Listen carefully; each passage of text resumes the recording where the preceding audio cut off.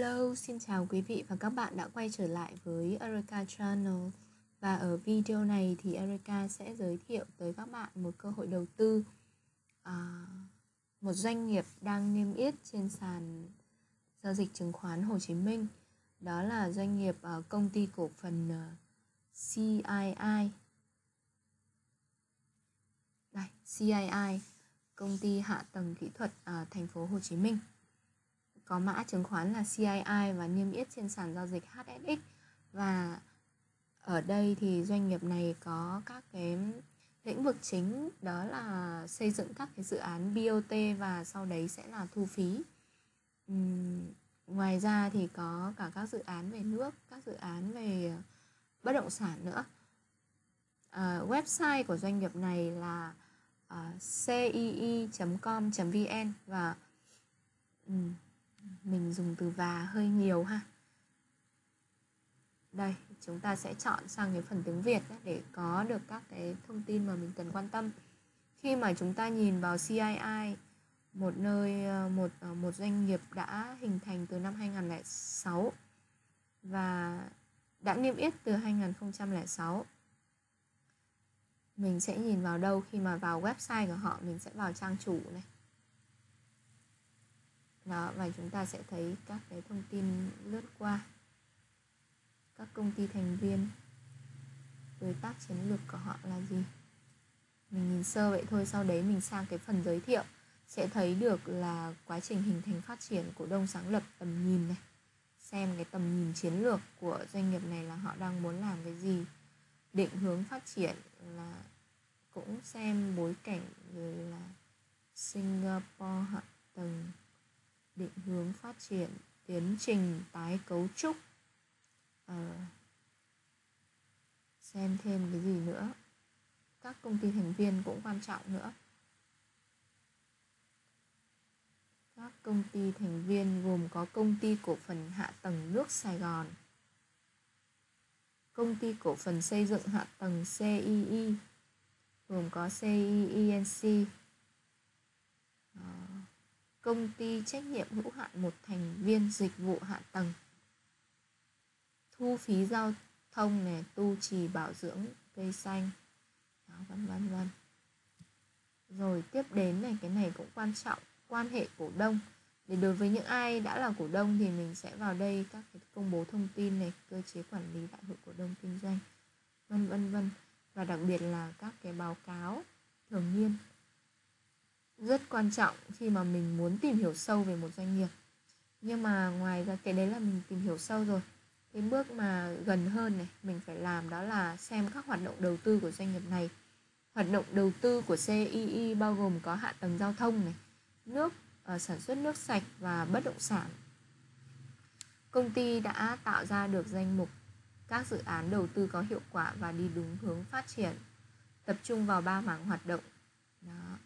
Nhóm hạ tầng giao thông gồm có dự án mở rộng xa lộ Hà Nội giai đoạn 2, tổng mức đầu tư là 2.800 tỷ à, 2.800 tỷ đồng. Hình thức đầu tư là BT, CII làm chủ đầu tư phương thức hòa vốn thu phí hoàn vốn trong vòng 13 năm.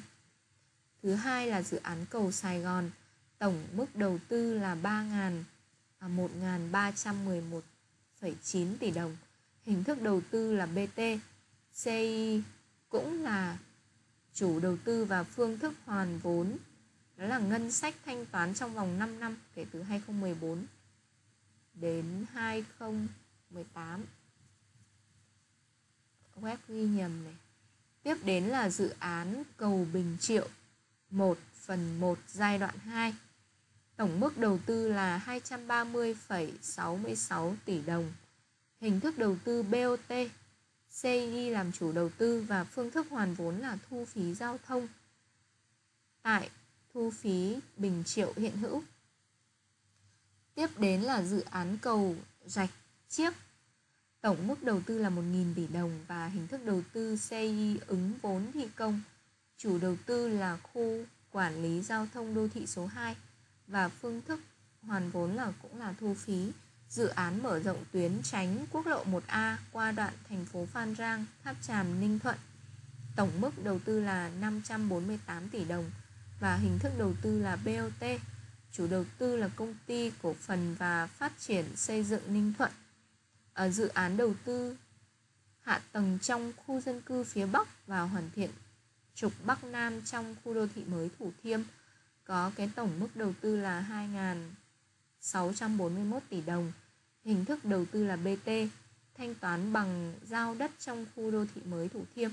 Chủ đầu tư là công ty cổ phần vân vân mọi người à, ấn vào đây là mình xem được. Tiếp tục dự án cao tốc Trung Lương Mỹ Thuận đây cũng là dự án quan trọng. À, tổng đầu tư là 14.678 tỷ đồng Hình thức đầu tư là BOT và chủ đầu tư là công ty cổ phần BOT Trung Lương Mỹ Thuận. Trong đó CBNR, công ty con của CI thì sở hữu 10%. Ờ, vân vân mình đọc thì thêm. Ở dự án cầu Rạch Miễu, tổng đầu tư là 1.397 tỷ đồng. Hình thức đầu tư là BOT. Chủ đầu tư là công ty trách nhiệm hữu hạn một thành viên BOT cầu Rạch Miễu trong đó CI sở hữu 49,75% vốn điều lệ và phương thức hoàn vốn có lẽ cũng là thu phí.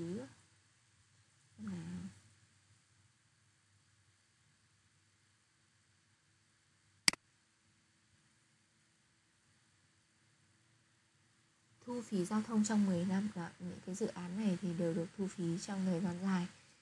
Trong 10 năm tới thì quý vị và các bạn hình dung tới là Việt Nam mình sẽ có rất là nhiều phương tiện bốn bánh. Và cái việc đi qua cây cầu đấy, đi qua con đường đấy sẽ đóng góp rất là nhiều phí.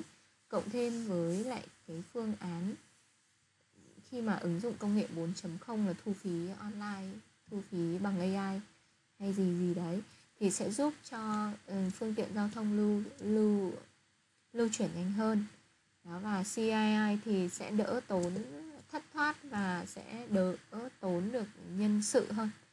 Đấy, thì đấy cũng là một số cái rất là hay trong cái mảng thu phí đối với các dự án BT và BOT của CI trong à, hạ tầng xây dựng hạ tầng.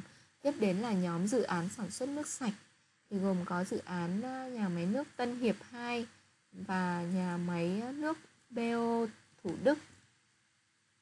Ừ, đây nhà máy nước Tân Hiệp 2 tổng mức đầu tư là 1.200 tỷ đồng. Và wow, lớn đấy. Hình thức đầu tư BOT chủ đầu tư là công ty cổ phần nước Tân Hiệp trong đó CI sở hữu 43% vốn điều lệ. Công suất phát nước là 300.000 mét khối trên một ngày và công trình đã khởi công trong năm 2015 và sẽ phát nước vào. Ủa, vậy là cái dự án này đã xong rồi cả nhà ạ sát nước vào từ 2016 đã xong rồi. Tiếp tục à, dự án à, nhà máy nước à, Thủ Đức BO này. Dự án nhà máy nước Thủ Đức là 1.600 tỷ đồng tổng mức đầu tư. Và hình thức đầu tư là BO chủ đầu tư là công ty cổ phần BO nước Thủ Đức. Trong đó thì CI sở hữu 52% vốn điều lệ. Ừ phần này là mang tính quyết định rồi hiện nay đã chuyển phần vốn về công ty Sài Gòn Water và phương thức hoàn vốn là tổng công ty cấp nước Sài Gòn bao tiêu toàn bộ sản lượng nước của dự án wow. Đấy. trạm bơm nước uh, thô công suất 315 mét khối một 315.000 mét khối trên một ngày và nhà máy nước xử lý công suất 300.000 mét khối trên một ngày Tuyến ống truyền tải nước sạch chiều dài 25,7 km, có đường kính D 900mm và D 2000mm. Công trình được khởi công xây dựng vào 20 Dự án này cũng đã dùng rồi. Như vậy là view qua một loạt như thế này thì hoạt động đầu tư về water của của C đợt này đã không có liên tục gia tăng. Ồ, đã bị mất mất một miếng bánh rất là màu mỡ trong cái việc uh, sản xuất nước sạch này tiếp đến là nhóm bất động sản. Nhưng mà cái nhóm này thì xây lại tập trung dự án chung cư cao cấp Thủ Thiêm Marina Bay. Nghe cái tên giống một à, tòa nhà của Singapore.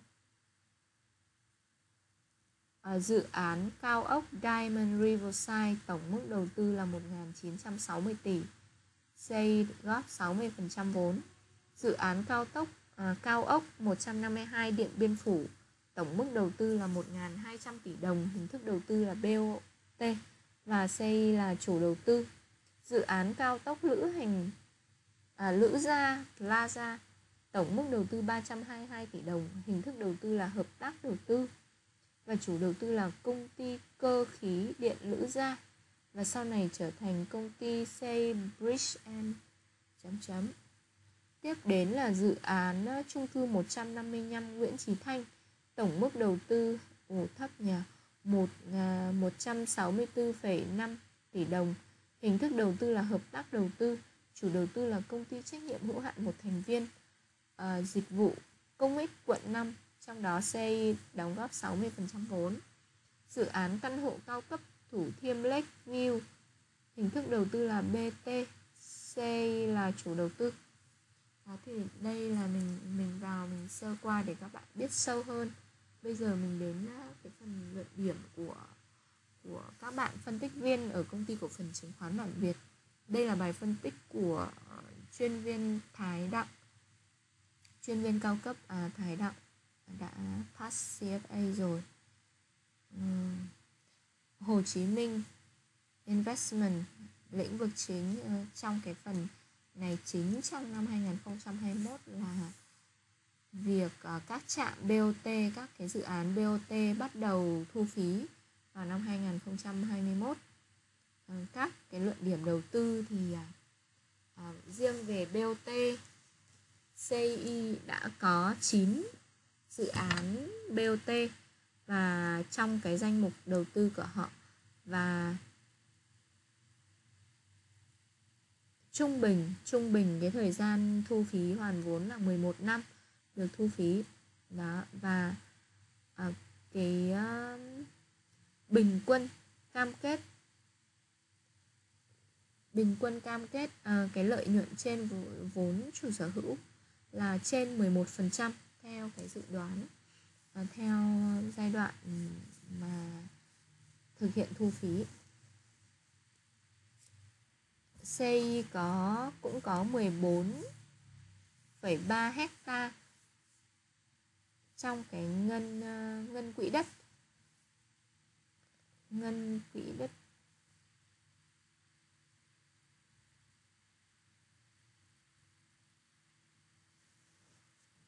Trực tiếp ngân quỹ đất trực tiếp ở thành phố Hồ Chí Minh.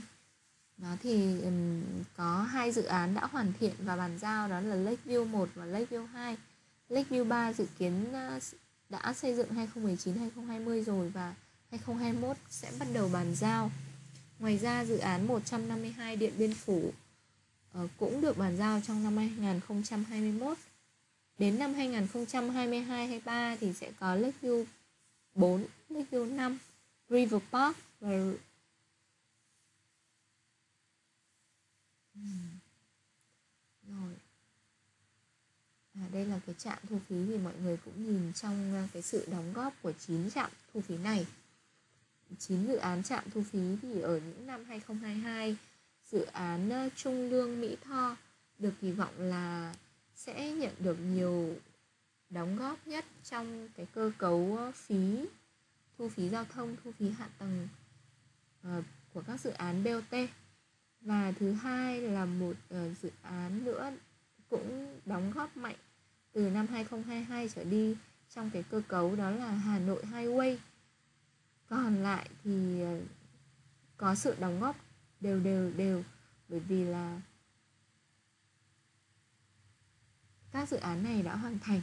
Đó thì trong tương lai thì ờ, trong 3 đến 5 năm tới thì Eureka nghĩ rằng chúng ta sẽ nhìn thấy một cái sự tăng trưởng nhiều khi được phá hơn. Cả việc là trên hình đồ thị chúng ta đang nhìn thấy.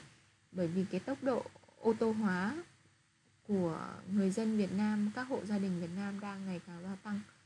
Arica nhìn xung quanh là thấy có rất nhiều gia đình mua ô tô để đi rồi và khi mà mình dân mình sử dụng nhiều phương tiện bốn bánh để đi lại và cao tốc lại có nhiều nữa thì cái việc mà mà tăng cái phí và có phần được biến lên ngoài sức tưởng tượng là có thể xảy ra đó. Nếu mà các bạn research đang kỳ vọng mỗi năm tăng độ 7-8% thì rất có thể là còn hơn thế. Thì đấy là những cái đột biến mà mà chúng ta không thể nào mà dự đoán được trong báo cáo. Rồi tiếp đến là cái lĩnh vực à, về bất động sản. À, lĩnh vực bất động sản thì Arica cũng vừa nói qua rồi. Đấy vào cái hình cuối cùng này hình cuối cùng đây là phân bổ các cái cơ cấu là từ thu phí B của các dự án BOT từ bất động sản và từ các lĩnh vực khác nữa.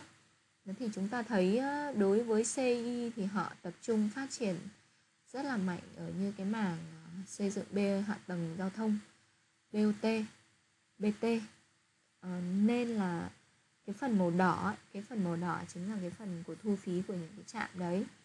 Thì có gia tăng từ năm 2020 đến 2022 dự phóng gia tăng nó cũng gia tăng tương đối là mạnh ấy.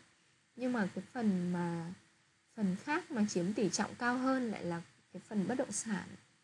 Các dự án bất động sản River Park, Lakeview, rồi 152 Điện Biên Phủ đang được kỳ vọng là sẽ đóng góp cao hơn trong cái cơ cấu uh, doanh thu doanh thu cho doanh nghiệp.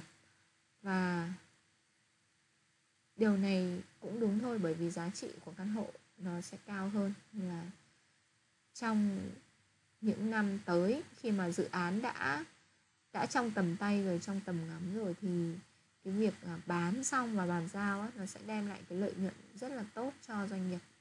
Đó là gia tăng được biến nhưng sẽ gặp phải sự không ổn định. Giống như là chúng ta nhìn thấy năm 2020 bùng nổ của bất động sản nhưng dự báo phóng cho 2021 lại ngắn lại hoặc là năm 2018 uh, ờ, bất động sản bùng nổ nhưng mà đến 2019 thì lại co lại. Trong khi đấy phí thì vẫn ờ, giữ nguyên thậm chí là có tăng trưởng. Thì chúng ta cũng ờ, phải theo dõi đánh giá về các cái dự án của của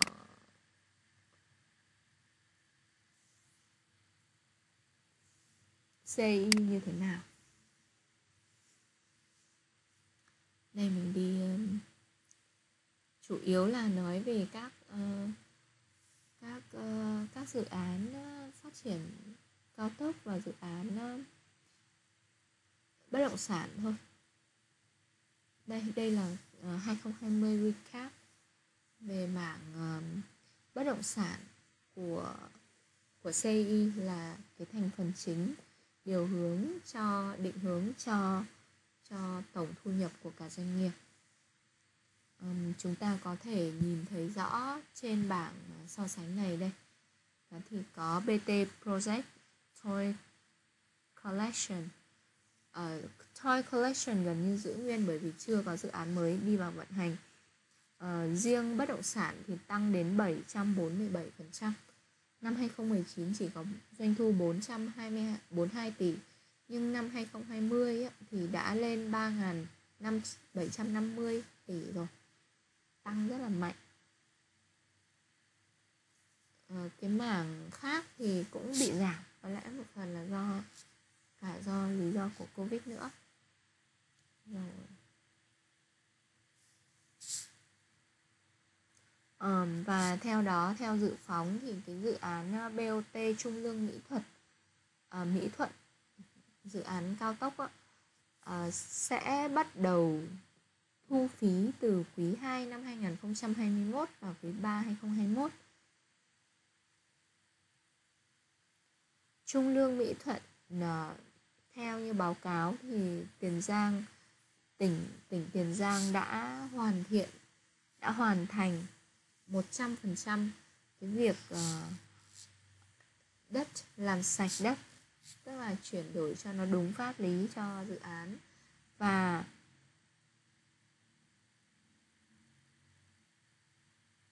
ok. Hà Nội Highway Expansion xa lộ Hà Nội. Cũng cũng sẽ bắt đầu thu phí tầm giữa tháng 2 năm 2021 và Research kỳ vọng rằng dự án này sẽ đóng góp 24% cho tổng công ty CI trong năm 2021 thu phí thu phí ừ, bắt đầu thu phí. Và chúng tôi dự đoán rằng ờ, bất động sản cái doanh thu bất động sản năm 2021 sẽ được điều hướng chính bởi um, Sơn Tinh.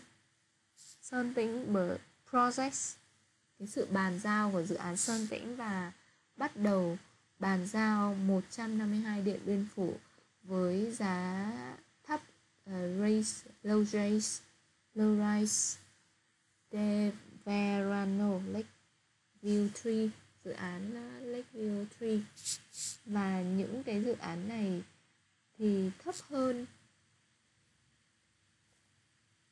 Ờ. Uh, under construction undergoing legal process. Ok. Tiếp đến là dự đoán về ờ, lãi sau thuế và sau lợi ích của đông thiểu số.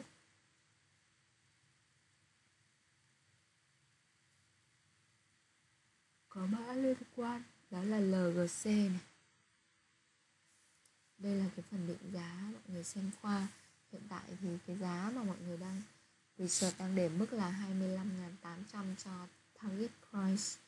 Đó, nhưng mà kéo xuống sâu hơn chúng ta sẽ thấy được các cái uh, wax uh, summarize tổng kết là có beta này hệ thống rủi ro chủ sở hữu này vân vân và sẽ tìm ra được uh, cái tỷ lệ phần trăm của WACC đó thì chúng ta nhìn thấy được rằng là uh, các cái ờ, định giá theo các cái mức chiết khấu được cân nhắc rất là kỹ thì uh, có cái bản base case với giá mục tiêu là 25.800 cao nhất là 28.800 với uh, mức uh, WACC 8,2% Đó, thì chúng ta cùng cùng theo dõi thôi.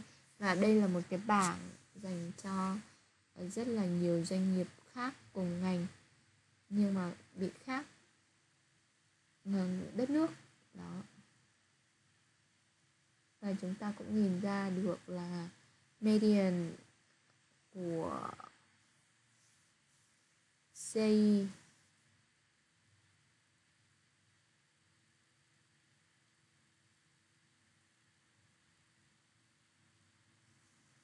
rất là chuẩn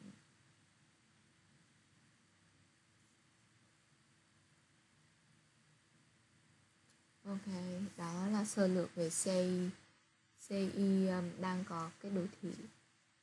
Um, cố gắng pick cho một năm. Nhưng mà chúng ta nhìn đồ thị à, uh, đồ thị tháng thì thấy rằng là CI cũng đang đứng trước một cơ hội khiến cho uh, cái giải Bollinger Band ở phía trên sẽ được mở rộng và đi võng lên phía trên vùng 3x đó là đối với ờ, các uh, cái thông tin chúng ta nhìn và nhận ở như uh, theo phân tích uh, kỹ thuật diễn biến giá. Ngoài ra thì chúng ta còn có đồ thị tuần nữa. Đồ thị tuần của CI cũng khá là vững chắc trong cái việc là vươn lên và cố gắng ở cái vùng 23 này. Còn còn gì nữa không? Thì CI cũng đang đứng trước cơ hội là break 25 hoặc là quay lại test một tí xíu ở cái vùng ờ, vùng đây? Vùng khoảng vùng 22 đó và chúng ta thấy là CI có một cái trend giảm rất là thoải thì cái việc đi lên đó, dốc tương xứng với cái việc giảm thoải này. Có thể xảy ra lắm xin chào và hẹn gặp lại quý vị và các bạn uh, cho những cái lần view mã cổ phiếu khác tiếp theo nhé.